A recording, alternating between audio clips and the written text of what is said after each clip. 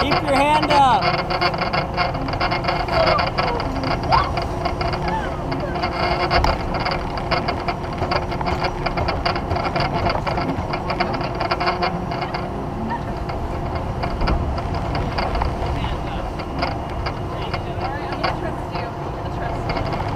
All right, now throw her off.